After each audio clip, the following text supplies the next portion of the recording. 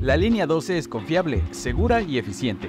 Realizamos un recorrido de Tláhuac a Miscuac para confirmar el tiempo que dura la vuelta. Comenzamos.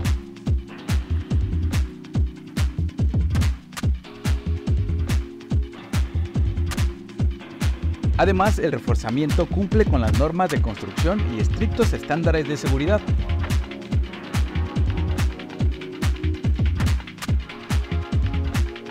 Las acciones preventivas y correctivas permiten una operación segura de los trenes.